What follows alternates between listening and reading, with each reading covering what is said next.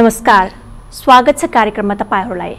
म कार्यक्रम प्रस्तुता रमा जैसी उपस्थित भइसकेकी छु। दर्शकबिन्द आज पनि तपाईँहरूको माझमा साहित्यिक भलाकुसारी गर्नको लागि उपस्थित भइसकेका छौँ। आज हाम्रो माझमा विगत लामो समयदेखि साहित्य सृजनामा अनवरत रूपमा लाग्दै आउनुभएका एकजना स्रष्टा हुनुहुन्छ। उहाँ हुनुहुन्छ डिआर नेउपाने सूर्य। सूर्यजी तपाईँलाई कार्यक्रममा स्वागत छ। हार्दिक धन्यवाद। मैले तपाईँलाई सूर्य भनेर सम्बोधन गरेँ कार्यक्रमको सुरुवातमै। हजुरलाई जे सहज लाग्छ हजुरले सम्बोधन गर्न सक्नुहुन्छ। हजुर। आजभोलि तपाईँ कुन कार्यमा व्यस्त हुनुहुन्छ? आजभोलि म भर्खर कोरियाबाट। आएको छु। करिब एक महिना पनि भइसकेको छैन। त्यही हो अब भर्खर विदेशबाट आउँदाखेरि भेटघाट पारिवारिक भेटघाट भेटघाट साथीभाइसँग भेटघाट। हजुर। अलिअलि साहित्यिक मनहरूसँगको भेटघाट त्यस्तै चलिरहेको छ भनौँ। म भेटघाटमै व्यस्त छु अहिले यो समयमा चाहिँ।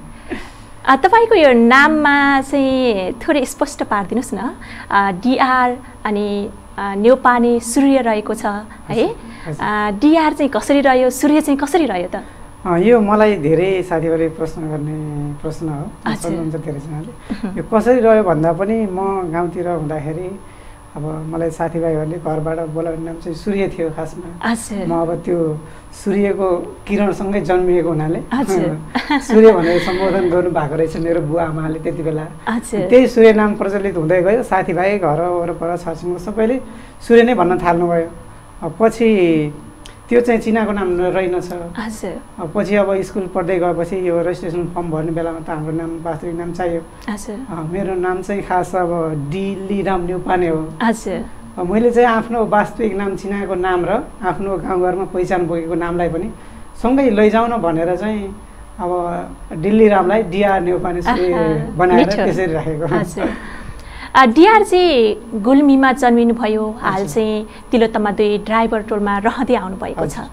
तपाईँको साहित्यिक यात्रालाई फर्केर हेर्दा अहिले चाहिँ कसरी सम्झिनुहुन्छ? साहित्यिक यात्रालाई फर्केर हेर्दा म गाउँमा छँदाखेरि पनि फ्याटाफुट्टा डायरीमा लेखेर सङ्कलन गरेर। राख्थेँ पढ्ने क्रममा पनि। त्यसै क्रममा धेरै पहिला हो त्यति बेला गाउँघरतिर अब यस्तो रेडियोहरू के पनि थिएन। हाम्रो लाग्छ मलाई यता पश्चिमाञ्चल क्षेत्रमा सबैभन्दा पहिले श्रीनगर याफुमको उदय भएको थियो सञ्चारको माध्यम रेडियोको माध्यमको रूपमा।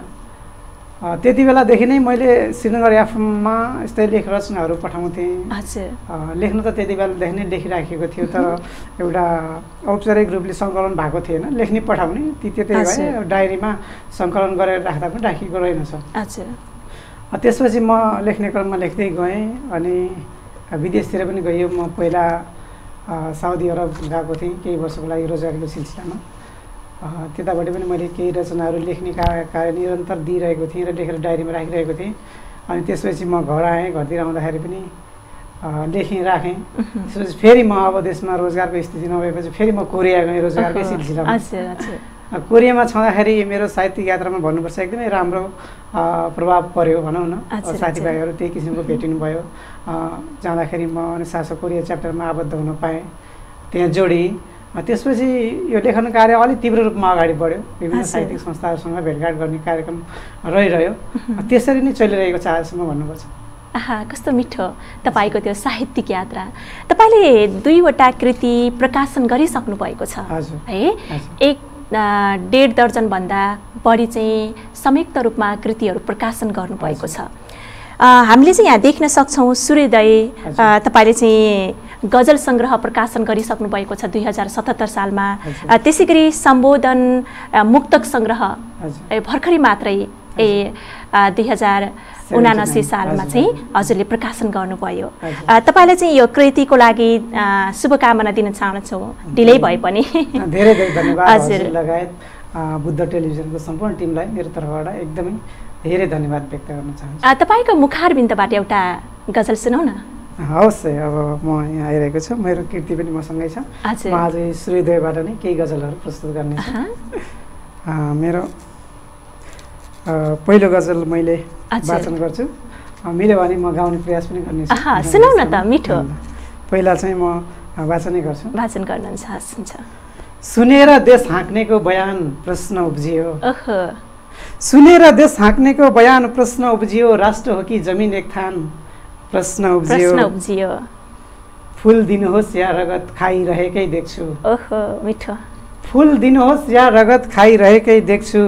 मन्दिरमा दैत्य छ कि भगवान्? प्रश्न उब्जियो। सुनेर देश हाँक्नेको बयान प्रश्न उब्जियो। राष्ट्र हो कि जमिन एक थान? प्रश्न उब्जियो। फुल दिनुहोस् या रगत खाइरहेकै देख्छु। मन्दिरमा दैत्य छ कि भगवान्? प्रश्न उब्जियो। सोच्थे घर सपार्न जवानी खाडीमा बेचे। सोच्थे घर सपार्न जवानी खाडीमा बेचे। बुझ्यो अन्जान। बुझेन जहान प्रश्न उब्जियो मन्दिरमा दैत्य छ कि भगवान्? प्रश्न उब्जियो बाउको शालिगमा सधैँ ढुङ्गा हानिरहन्छ बाउको शालिगमा सधैँ ढुङ्गा हानिरहन्छ छोरा पराई भनौँ कि सन्तान प्रश्न उब्जियो। बुझ्यो अन्जान बुझेन जहान प्रश्न उब्जियो। यसरी नै जातभातको विवादमा अल्झियौँ भन्ने यसरी नै जातभातको विवादमा अल्झियौँ भने कसरी जोगिएला स्वाभिमान? प्रश्न आ धन्यवाद। कस्तो मिठो गरी। लेख्नु भएको डिआरजी हजुरले? धन्यवाद। कस्तो सुनौ सुनौ लाग्ने खालको। फेरि पनि एउटा सुन्न मन लाग्यो मलाई। टेलिभिजन हेरेर बस्नुहुने समस्त दर्शकबिन्दुहरूलाई पनि त्यो महसुस भइरहेको होला। फेरि अर्को रचना वाचन गरिदिए हुन्थ्यो डिआरजीले भन्ने चाहिँ महसुस भइरहेको होला। तपाईँको मुखारबिन्दबाट फेरि एउटा हुन्छ। म फेरि अर्को गजल सकेसम्म अलिकति गाउने प्रयास गर्छु। मेरो यो प्रयास हो यो दोस्रो पटक म गाउँदैछु यसरी। पहिला चाहिँ म एकपटक गाएको थिएँ। निकै नि हरकत देखाए कसैले। निकै नि हरकत देखाए कसैले। म दुख्दा खसी नै ढलाए कसैले। आहा म दुख्दा खसी नै ढलाए कसैले। रहेसम्म जीवन तिमी मेरो भन्दै। उहुँ, रहेसम्म जीवन तिमी मेरो भन्दै। भरोसा हुरीमा उडाए कसैले। भरोसा हुरीमा उडाए कसैले। रमाई केही क्षण मेरो देहसँग उहुँ, रमाई केही क्षण मेरो देहसँग जवानीको तृष्णा मेटाए कसैले। जवानीको तृष्णा मेटाए कसैले। कसरी भन्नु खै यो माया छ ठुलो कसरी भन्नु खै यो माया छ ठुलो रुपैयाँको बिटो समाए कसैले। रुपैयाँको बिटो समाए कसैले। निकै निच हरकत देखाए कसैले। म दुख्दा खसी नै ढलाए कसैले। म दुख्दा खसी नै ढलाए कसैले। धन्यवाद। म दुख्दा कसैले खसी म दुख्दा कसैले कसैले। म दुख्दा खसी नै ढलाए कसैले। कस्तो मिठो गरी। तपाईँको सृजनामा एउटा जीवन्त भाव लुकेको छ। कस्तो मिठो गरी लेख्नु भएको छ। यस्ता सृजनाहरू चाहिँ डिआरजीको मनमा विशेष गरी कति बेला फोड्ने गर्छन् त? यस्तो छ यो कति बेला फुर्छन् भन्दाखेरि पनि यो फुर्नुको कुनै सीमा हुँदैन समय। हुँदैन एउटा दुखिरहेको मन मा चाहिँ कहिले सृजना फुर्न सक्छ कहिले खुसी भएको। बेला पनि सृजना फुर्न सक्छ मैले चाहिँ खास गरी सृजना फुर्ने समय चाहिँ जति बेला म एकदमै बिजी हुन्छु नि जस्तै कामको। बेला पनि काम गरिरहेको हुन्छु त्यो बेलामा मेरो यो स्मरण शक्ति पनि अझ बढी चलिरहेको हुन्छ। त्यो बेला म सिर्जना गर्न सक्छु। हजुर अब कहिले काहीँ छुट्टीको बेलामा झसँग बिउजिन्छ कुनै कुरा मनमा आउँछ त्यति बेला पनि टिपोट गरेर राखिन्छ त्यो बेला पनि हुन्छ। अनि कस्तो भन्दा यो फुर्सदको समयमा चाहिँ मैले प्राय सिर्जना गर्न सक्दिनँ। ओहो फुर्सदको समयमा। तपाईँ फुर्सदको समयमा के हुन्छ भन्दा अब यो भनौँ न यो मस्तिष्क अलि निष्क्रिय भए जस्तो हुँदो रहेछ। चलाइमा नभए जस्तो हुँदो रहेछ। त्यति बेला चाहिँ म त्यति सक्दिनँ। जति म व्यस्त हुन्छु त्यति बेला नै मेरा सिर्जनाहरू बढी प्रस्फुटित हुने हुन्। हजुर। त्यति बेला नै म बढी लेख्छु अथवा मनमा आएको कुरालाई टिपोट गरेर राख्छु फेरि त्यसलाई पछि पूर्णता दिन्छु। डिआरजी भर्खरै मात्रै प्रदेशबाट घर देश आउनुभएको छ। हजुर। कोरियादेखि तपाईँ चाहिँ नेपाल आउनुभएको छ। आफ्नो देशलाई सम्झेर। अब चाहिँ मैले यही केही गर्छु भन्ने सोच पनि राख्नु भएको छ। मलाई अघि अवगत गराइसक्नु भएको छ। तपाईँको त्यो कोरियाको बसाइमा त्यहाँ रहिरहँदा तपाईँले चाहिँ आफ्नो साहित्यिक यात्रालाई कसरी अगाडि लानुभयो त? त्यो व्यस्त समयको बावजुद पनि त्यहाँ त कडा मेहनत। गर्नुपर्ने हुन्छ। समयलाई कसरी सदुपयोग गर्नुभयो? त्यो आफ्ना सृजनाहरूलाई त्यहाँ रहँदाखेरि कसरी निरन्तरता दिनुभयो? अब यस्तो छ म करिब टु थाउजन्ड फोर्टिन दुई हजार चौधमा। कोरिया गएको थिएँ। गएपछि अब सबैलाई थाहा भएकै कुरा हो कोरियाको जीवन एकदमै व्यस्त छ। काम बाह्र चौध घन्टा जसले पनि गर्नुपर्छ। त्यसमाथि साउको गाली गलौज त छँदैछ अब। हामीले कोरियामा गर्ने भनेको चाहिँ एकदमै थ्रिडी काम नै हो। यहाँबाट जस्तो जसरी गए पनि थ्रिडी काम नै गरिन्छ। त्यही हो मैले अघि पनि भनिहालेँ। सायद मलाई यो कोरियाले नै सिकाएको हो कि जस्तो लाग्छ मलाई किन भन्दा जति व्यस्त भयो मान्छे त्यति नै। चलायमान हुँदो रहेछ। मैले चाहिँ लेख्ने क्रममा अब ड्युटीकै समयमा पनि ड्युटीमा त हामी एकदम स्ट्यान्ड बाई हुनुपर्छ काम गर्नुपर्छ मोबाइल लानु पाइँदैन चलाउनु पाइँदैन। त्यो समयमा पनि केही कुराहरू मनमा आयो फुऱ्यो भने के गर्ने त? भन्दाखेरि म चाहिँ अब हामी चाहिँ अब म अथवा अरू साथीहरू पनि हुनुहुन्छ त्यस्तो। मोबाइल लिएर यसो टोइलेटतिर जान्थ्यौँ। टोइलेट नआए पनि टोइलेटको बानामा गयो मनमा फुरेको एक दुई लाइन लेख्यो अनि राख्यो। त्यस्तो पनि सम्भव भएन नि। कहिलेकाहीँ हामीले काम गर्ने क्रममा हामीसँग पेन र अब लगभग यस्तो कपीहरू भइरहेको छ कि। त्यही। अनुसारको काम थियो मेरो। एउटा पेन र हातमा यस्तो कपी कलमहरू जस्तो भइरहेको थियो। लेख्नु परिरहेको थियो। अब नापेर त्यस्तरी लेख्नु परिरहेको थियो। त्यसै गरेर मैले चाहिँ मनमा केही आयो भने त्यही नापेर लेखा जस्तो गऱ्यो। अनि अब नेपाली भाषा त बुझ्दैन उनीहरूले अब नेपालीमै केही आफ्नो काम सम्बन्धी केही गरे होला भन्ने हुन्छ उनीहरूलाई। म चाहिँ त्यही नेपालीमा फुरेको कुराहरू चाहिँ त्यही लेख्ने। अनि त्यो पेपर हुन्छ अथवा केही गत्ता हुन्छ त्यसलाई कोठामा लग्यो पछि त्यही अनुसारले त्यसैबाट फेरि त्यसलाई पूर्णता दियो। त्यस्तो गर्थेँ म चाहिँ। तर गाह्रो छ एकदमै त्यहाँको। चाहिँ व्यस्त समयलाई पनि तपाईँले आफ्नो साहित्य सृजनालाई चाहिँ निरन्तरता दिनुभयो। हजुर। जुन त्यहाँको साहित्यिक माहौल कतिको देख्नुहुन्छ? त्यहाँ थुप्रै नेपालीहरू हुनुहुन्छ स्रष्टाहरू पनि हुनुहुन्छ। त्यहाँका स्रष्टाहरूले आफ्नो जुन साहित्यिक यात्रालाई कसरी लैजानु भएको छ त्यहाँ? जुन हामीले चाहिँ एउटा सर्जक भइसकेपछि एउटा सुनाउने ठाउँ पनि चाहिन्छ। आफ्ना। सृजनाहरू पोख्ने ठाउँ पनि चाहिन्छ। त्यहाँ रहेका नेपाली स्रष्टाहरूले चाहिँ कसरी लैजानु भएको छ आफ्नो नेपाली साहित्यलाई? हजुर राम्रो प्रश्न कोरियामा म जानुभन्दा पहिला पनि एउटा निसासा भन्ने नेपाली साहित्य समाज भन्ने संस्था थियो। त्यसले पनि साहित्यिक गतिविधिहरू गर्ने अब कहिलेकाहीँ छुट्टीको बिदाको बेलामा। स्रष्टालाई एक ठाउँमा पार्ने रचना सुनाउने कार्यक्रम गर्दो रहेछ। म गएपछि पनि एकछिन त्यो संस्था सक्रिय थियो। अहिले चाहिँ अलि अलि निष्क्रिय जस्तो देखिएको छ। म गएपछि त्यहाँ टु थाउजन्ड बाह्रमा अनुशासन कोरिया च्याप्टर भन्ने खुलेको रहेछ हाम्रो संस्थापक यसको प्रमोद सारङजीले त्यसलाई संयोजक भएर अगाडि बढाउनु भएको रहेछ। अनि म चौधमा गएपछि हामी सोह्रतिर त्यो संस्थामा आबद्ध भयो म पनि म लगायत अरू साथीहरू आबद्ध हुनुभयो। पहिला ठिकै ठिकै तरिकाले गएको संस्थालाई हामी दुई चारजना साथीहरू जोड्यौँ। त्यसपछि त्यसलाई हामीले अलि धेरै गतिविधिहरू गर्दै गयौँ साहित्यिक कार्यक्रमहरू गर्दै गयौँ। गर्दा अहिले चाहिँ कोरियाको माहौल एकदमै राम्रो छ।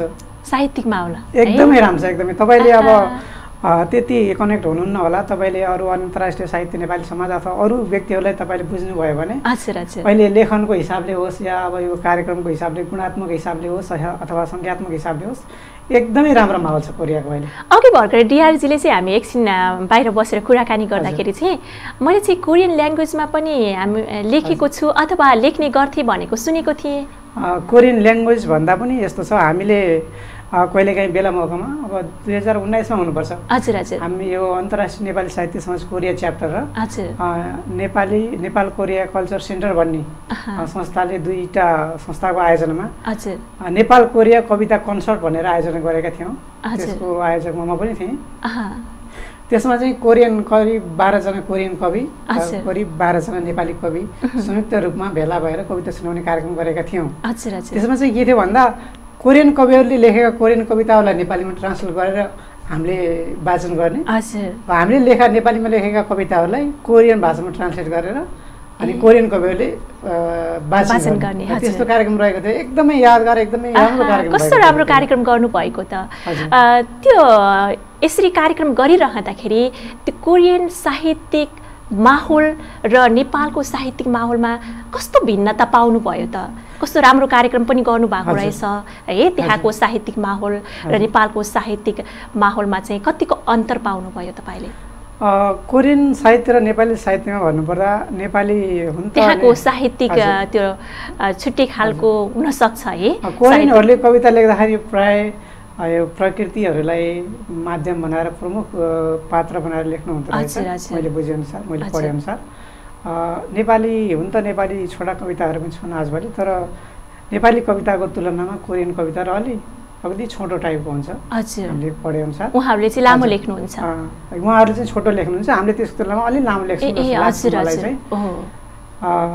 अनि एकदमै कोरियामा कवि भनेपछि हामी पनि अब हुन त हामी काम गर्न गएको रोजगार गर्न रोजगारीको लागि गएको व्यक्ति। व्यक्तिहरू। त्यही पनि अब कविता लेख्ने भनेपछि एकदमै राम्रो तरिकाले हेर्नुहुन्छ हामीसँग। आउनुहुन्छ एकदम सम्मानपूर्वक बस्नुहुन्छ। एकदमै राम्रो छ। कोरियनहरूले अब यसै पनि अरू मान्छेहरूलाई इज्जत त गर्नुहुन्छ नै। अरू। त्यसमा पनि लेख्ने मान्छे कवि साहित्यकार भनेपछि त एकदमै राम्रो तरिकाले हेर्नुहुन्छ। हामी एकदमै घुलमिल हुने मौका पायौँ। कोरियनहरूलाई पनि बुझ्ने मौका पायौँ। कस्तो राम्रो विषयवस्तु राखिदिनु भयो? त्यहाँको साहित्यिक रचनाहरूलाई बुझ्ने मौका पनि पायौँ। कोरियाको कविताको बारेमा तपाईँले चाहिँ चर्चा गर्नुभयो। त्यहाँका कविताहरू यस्ता हुन्छन्। प्रकृतिसँग सम्बन्धित विषयवस्तुलाई चाहिँ समेट्नुहुन्छ उहाँहरूले। हजुर। भन्नुभयो।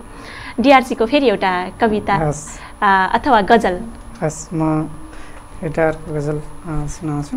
हजुर गजल सुनाऊ। मिठो गरी गाउनु पनि हुन्छ अनि मिठो गरी हजुर मिठो हजुर। मिठो छ तपाईँको आवाज पनि मिठास छ। म एउटा गजल वाचन गर्छु। हजुर। कति हान्छौ तिर पछाडिबाट सक्छौ रोप छुरा अगाडिबाट? आहा। कति हान्छौ? तिर पछाडिबाट सक्छौ? रोप छुरा अगाडिबाट। प्रिया भो नलगाऊ छोटा लुगा। प्रिया भो नलगाऊ छोटा लुगा।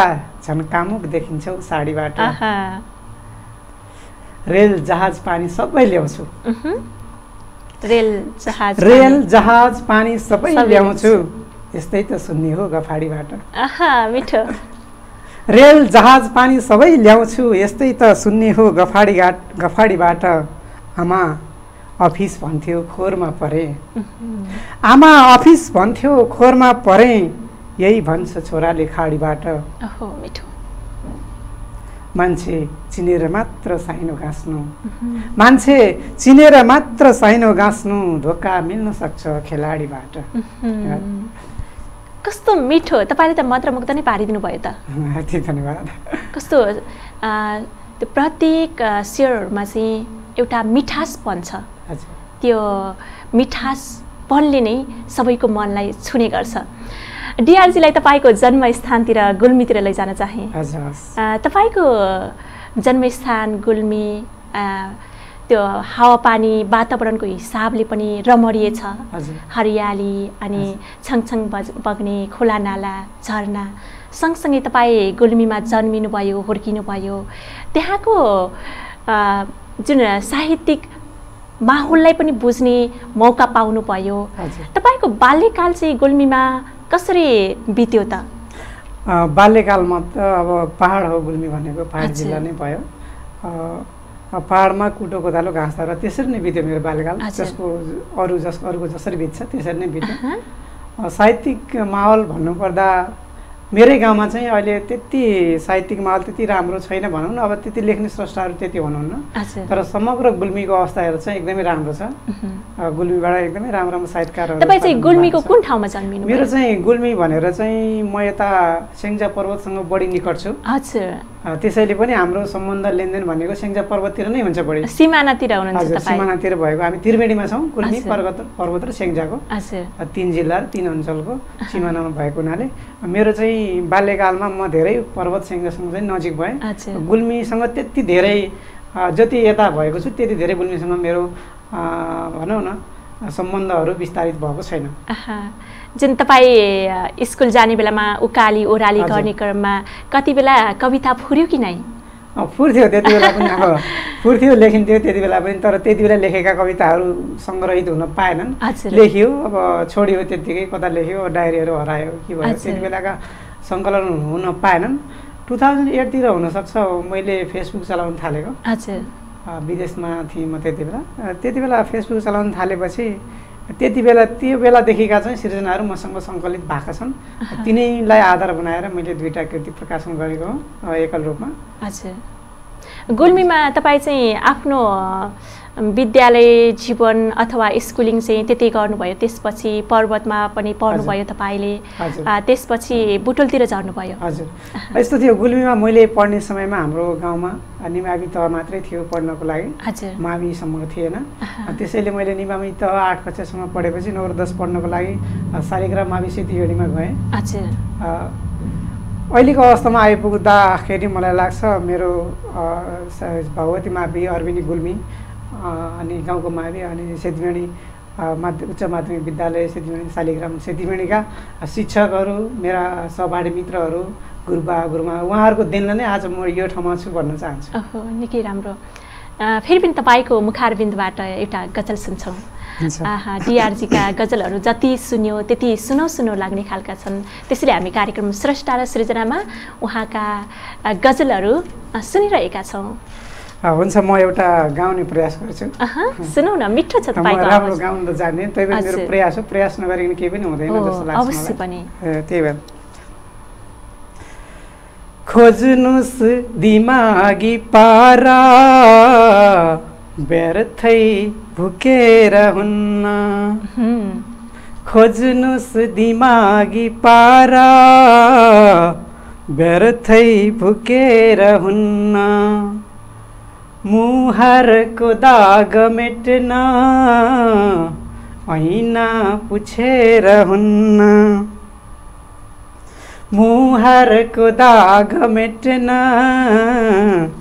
ऐना पुछेर हुन्न नखरा देखे अधिक नै माया जताउनेको नखरा देखे अधिक नै माया जताउनेको विश्वास दिलाऊ प्रिया मुखले बोलेर हुन्न मिठो। विश्वास दिलाऊ प्रिया। मुखले बोलेर हुन्न बाले दियो बिना तेल। के हुन्छ बुझ्नु आफै? बाले दियो बिना तेल। के हुन्छ बुझ्नु आफै? सम्बन्धनी हो यस्तै एकछिन रमेर हुन्न सम्बन्धनी हो यस्तै एकछिन रमेर हुन्न शास्ति भोगे नि वर्षौँ आए नचेत हाम्रो। हुँ, शास्ति भोगे नि वर्षौँ आए नचेत हाम्रो। फेरिनु पर्छ नियत शासक फेरेर हुन्न फेरिनु पर्छ नियत शासक फेरेर हुन्न अन्तिम शेर भन्छु राख्दैछ पाउ बैरी आमाको छातीमाथि। राख्दैछ पाउ बैरी आमाको छातीमाथि। उठौँ खुडा समाई जहिल्यै सुतेर हुन्न। उठौँ खुडा समाई जहिल्यै सुतेर हुन्न खोज्नुहोस् दिमागी पारा व्यर्थै भुकेर हुन्न मुहारको दाग मेट्न होइन पुछेर हुन्न मुहारको दाग मेट्न ऐना पुछेर हुन्न हजुर। कस्तो मिठास छ। धन्यवाद हजुरले। है? मुहारको दाग मेट्नलाई साँच्चै ऐना पुछेर हुँदैन त्यसलाई मुहार नै पुस्नुपर्छ मिठो गरी लेख्नु भएको छ डिआरजीले। हामी चाहिँ अघि पर्वतमा आएको थियौँ। हजुर। पर्वतपछि तपाईँ भुटोलमा झर्नुभयो पर्वतपछि पर्वत पढियो गुल्मी नै थियो। त्यसपछि हजुर। हामी करिब दस बाह्र वर्ष भयो होला। अब त्यही हो गाउँघरमा बसेपछि राम्रो स्कुल हुँदैन। अस्पताल अस्पताल हुँदैन। त्यसैको तिनै कुराहरूलाई मध्यनजर गरेर हामीले मेरो बालबच्चाहरूलाई पढाउने हिसाबले हामी बुटोल। बुटोल जानुभयो। त्यसपछि तपाईँ कामको सिलसिलामा। खाडीमा जानुभयो बुटोल। झरिसकेपछि त्यसको एक दुई वर्ष पछाडि म चाहिँ कामको सिलसिलामा कोरियातिर पुगेँ। त्योभन्दा पहिला चाहिँ साउदी जानुभयो। त्योभन्दा पहिला म साउदी गएर आइसकेको थिएँ। ओहो कस्तो। त्यति बेला चाहिँ लेख्नु भयो कि नै त्यो साउदीमा म जाँदाखेरि लेखेको थिएँ। त्यति बेला पनि मैले लेखेका थुप्रै कुराहरू अहिले पनि मसँग छन्। यिनै कृतिमा तपाईँले समावेश गर्नुभएको केही कुराहरू यिनै कृतिमा छन्। केही कुराहरू मैले एउटा उपन्यासको लागि भनेर सुरु गरेको थिएँ। हजुर। करिब दस पन्ध्र वर्ष भयो होला त्यो आधा लेखेर त्यत्तिकै थन्किएको छ। मलाई लाग्छ त्यो कहिले पुरा हुन्छ म आफैलाई थाहा छैन तर म पुरा चाहिँ गर्छु कहिले गर्छु थाहा छैन। त्यो चाहिँ त्यता हुँदाखेरि लेख्नु भएको हो। अझै। चाहिँ तपाईँले त्यसलाई पुरा गर्नुभएको छैन। भएको छैन। अरू कृतिहरू प्रकाशन गर्नुभयो। त्यसलाई चाहिँ अझै पेन्डिङमै राख्नु भएको पेन्डिङमै छ। किन भन्दा मलाई त्यो लेख्ने मुड चलेको छैन त्यो उपन्यास त्यति बेलाको। विषयवस्तु र अहिलेको विषयवस्तुमा केही भिन्नता पनि आएको छ समय अनुसारले। त्यसलाई त्यही अनुसारले ढालेर फेरि पुनर्लेखन गर्नुपर्ने छ। त्यो म गर्छु तर कहिले गर्छु थाहा छैन आफैलाई डिआरजीले चाहिँ धेरै विषयवस्तुमा कलम चलाउनुहुन्छ। है। तपाईँले चाहिँ कविता पनि लेख्नुहुन्छ। मुक्त त्यसै गरी गजल पनि लेख्दै आउनुभएको छ। अनि त्यसै गरी तपाईँले लघु कथा पनि लेख्नु भएको छ।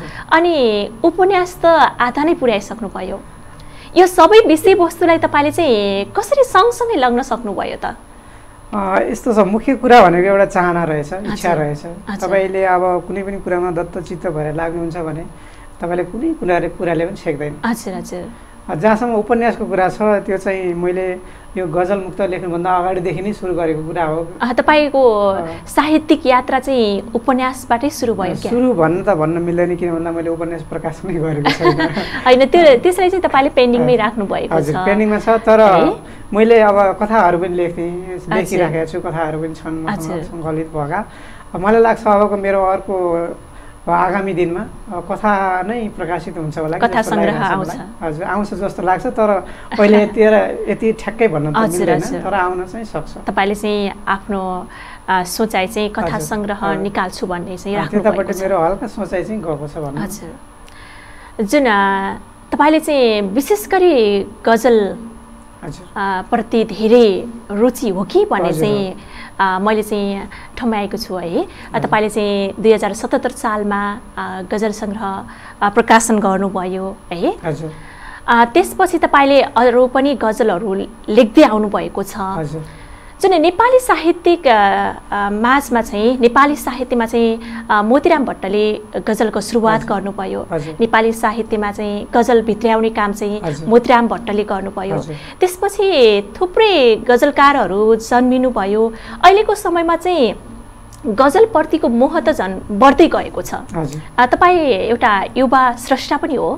अहिलेको माहौल चाहिँ तपाईँले कतिको देख्नु भएको छ नेपाली साहित्यिक माहौल? खास गरी गजल विधामा भन्दा अहिलेको साहित्यिक माहौल एकदमै राम्रो छ। उर्वर भूमि जस्तै छ अहिलेको नेपाली गजलको लागि साहित्यिक यात्रामा। तर चाहिँ यसका बावजुद केही दुविधाहरू पनि छन् केही। कुराहरू पनि छन्। बेला बेला बेला बखतमा अब विवादहरू आइरहन्छन्। मलाई चाहिँ लाग्छ त्यस्तो विवाद गर्नु जरुरी छैन। म बहरमा पनि लेख्छु गैर बहरमा पनि। लेख्छु दुइटैमा म लेख्छु कलम चलाउँछु। मलाई चाहिँ यस्तो लाग्छ यो कुनै पनि कुरामा विवाद गर्नुभन्दा हामीले जसरी जानिन्छ त्यसरी लेख्दै जाउँ। कालान्तरमा त्यसको एउटा निचोड पक्कै पनि निस्कन्छ। हामीले विवादको पछि दौडेर तैँले यसमा लेख मैले यसमा लेख्छु तेरो यो भयो मे- तेरो भएन भन्नुभन्दा पनि आफूले कसरी लेख्ने हो त्यो अनुसार लेख्दै जाउँ। नजानेको कुरा एकअर्कालाई सिकाउँदै जाउँ लेख्दै। जाउँ। म त्यही नै भन्छु यस विषयमा यसभन्दा बढी चाहिँ बोल्न ओ, छैन कस्तो मिठो गरी राखिदिनु भयो। हामीले जसरी जानेका छौँ। सिक्दै जाने हो मानिस सिक्दै जाने हो। मेरो सिकाइकै क्रममा। मैले दुईटा कृति निकालेँ। सिक्दै। जाने हो। सिकाइको क्रममा अरू कृतिहरू पनि प्रकाशित होलान्। ठाउँमा छ। सिकेर कहिले पनि सकिँदैन। सिक्नुपर्छ भन्ने लाग्छ हामी चाहिँ। सिक्दै जाँदाखेरि खारिँदै जान्छौँ निखारिँदै जान्छौँ। आफ्नो सिकाइलाई चाहिँ निरन्तरता दिनुपर्छ। साहित्यमा चाहिँ भाव बलियो हुनुपर्छ। शब्दभन्दा पनि भाव चाहिँ। बलियो हुनुपर्छ। समाजलाई देशलाई सबै कुरालाई बोल्न सक्ने एउटा तागत चाहिँ। साहित्यमा हुन्छ। सबैलाई। समेट्न सक्नुपर्छ। डिआरजीसँग यसरी कुराकानी गरिरहँदाखेरि फेरि पनि तपाईँको गजलको मोहले तानिरह्यो मलाई। हुन्छ। अब आज हामी स्रष्टा सुनाउनकै लागि भनेर आएका छौँ। आएको छु। म फेरि अर्को एउटा। तपाईँको त्यो गजल सङ्ग्रहमा थुप्रै गजलहरू सङ्ग्रहित छन्। हजुर। अ, त्यसैमध्येबाट एउटा गजल सुन्न चाह्यौँ। कार्यक्रम श्रेष्ठ र सृजनामा तपाईँका ती मिठा गजलहरू तपाईँका कृतिमा सजिएका छन्। ती सजिएका ती सृजन सृजनाहरूलाई चाहिँ हामी कार्यक्रममा सुन्दैछौँ। हुन्छ म एउटा यो राजनीतिक कुराहरूलाई व्यङ्ग गरेर लेखेको एउटा गजल सुनाउँछु। अहिलेको माहौल पनि त्यस्तै छ। चुनाव पनि आइरहेको छ। वर्षौँदेखि देशमा यस्तै बहुदल आएको छ। वर्षौँदेखि देशमा यस्तो बहुदल आएको छ कहिले कोसी त कहिले महाकाली खाएको छ। वर्षौँदेखि देशमा यस्तो बहुदल आएको छ कहिले कोसी त कहिले महाकाली खाएको छ। बाउले काला पानी बेच्दा उफ्रिएथ्यो छोरो। बाउले काला पानी बेच्दा उफ्रिएथ्यो छोरो। आजकल आफैले टनकपुर सकाएको छ। मिठो। कहिले कोसी त कहिले महाकाली खाएको छ। वर्षेनी लाखौँ युवा विदेश बेच्दै सरकार। वर्षेनी लाखौँ युवा विदेश बेच्दै सरकार। रिमिटियन्स भन्दै रातो बाकस भित्र्याएको छ। कर्णालीमा स्याउकै भात अचार सब्जी बन्छ। कर्णालीमा स्याउकै। भात अचार सब्जी बन्दा सरकार फलफुल खोज्दै विदेश धाएको छ। रेमिटियन्स भन्दै रातो बाकस भित्र्याएको छ। अन्तिम शेर नेता प्रभु खुसी पार्न देशै दाउमा राख्छन्। नेता प्रभु खुसी पार्न देशै दाउमा राख्छन्। जनता माटो दिन्न भन्दै शिर चढाएको छ। धन्यवाद। कस्तो मिठो। तपाईँको यो सृजनाहरू चाहिँ हामीले जति तारिफ गरे पनि तारिफ गरेर सकिँदैन। यो त झनै जुन जृङ्ग हुने खालको कि आङ श्रृङ्ग हुने खालको काँडा उम्रिने खालको जुन देश भक्ति भावले चाहिँ तपाईँको सृजनामा ओतप्रोत भावहरू हामीले चाहिँ छल्लङ्गै देख्न सक्छौँ नि त। धन्यवाद यहाँलाई मन पराइदिनु भएको डिआरसी तपाईँ चाहिँ अब नेपालको बसाइमा हुनुहुन्छ। अब चाहिँ परदेश नगएर आफ्नो घर देशलाई। सिँगार्दै हुनुहुन्छ आफ्नो नेपाली कला संस्कृति सँगसँगै साहित्यलाई पनि सँगसँगै लैजाँदै हुनुहुन्छ। बुटोलको साहित्यिक माहौल माहौललाई चाहिँ तपाईँले कसरी निहाल्दै हुनुहुन्छ नजिकबाट अ, बुटवलको साहित्यिक माहौलको भा बारेमा भन्नुपर्दा म यहाँ भर्खर नयाँ छु। किन भन्दा म धेरै समय परदेशतिर बसेँ। यहाँ एकदमै साहित्यिक माहौल एकदमै राम्रो छ। मैले बुझेअनुसार यहाँ लुम्बिनी बाङ्मय अरू अरू एकदमै धेरै राम्रो राम्रो संस्थाहरू छन् हुनुहुन्छ। एकदमै राम्रो लेख्ने मान्छेहरू हुनुहुन्छ। तर म चाहिँ सबैसँग परिचित घुलमिल हुन पाएको छैन। मलाई लाग्छ अब म विदेशको यात्रामा सायद फर्किन्न होला। किन भन्दा केही वर्ष विदेश बसियो। त्यहाँको श्रम शिविर थोरै भए पनि प्राप्त गरेको आर्थिक कुराहरूलाई देशमै एउटा वातावरणमा देशमै लगानी गरेर के गरौँ भन्ने सोच आइरहेको छ। त्यसैले म बुटोलतिर अब यहीँ नै बसिन्छ। बस्दाखेरि यहाँको साहित्यिक माहौलको बारेमा अझ बढी बुझ्ने प्रयास गर्नेछु। कस्तो छ के छ पक्कै पनि एकदमै राम्रो छ। मैले अ, उता कोरियातिर बस्दा पनि हेरिरहेको हुन्छु। एकदमै राम्रो छ एकदमै अग्र संस्थाहरू एकदमै हुनुहुन्छ यहाँ। उहाँहरूबाट केही सिक्नेछु उहाँहरूलाई भेट्नेछु। हिजो भर्खरै। पनि तपाईँ कुनै कार्यक्रममा जानुभएको थियो होला। मैले चाहिँ तपाईँलाई कार्यक्रमको लागि निमन्त्रणा गर्दाखेरि कार्यक्रम अथवा मलाई चाहिँ अवगत गराउनु भएको थियो अन्जानजीले। बाटोमा हुनुहुन्छ होला एकछिनपछि फोन गर्नु भन्नुभएको थियो। कार्यक्रममै हुनुहुन्थ्यो होला तपाईँ? फर्किँदै हुनुहुन्थ्यो होला कार्यक्रमबाट। कार्यक्रम भन्दा पनि म एउटा भेटघाटको लागि साहित्यिक। भेटघाट। भेटघाटकै लागि भन्नुपर्छ।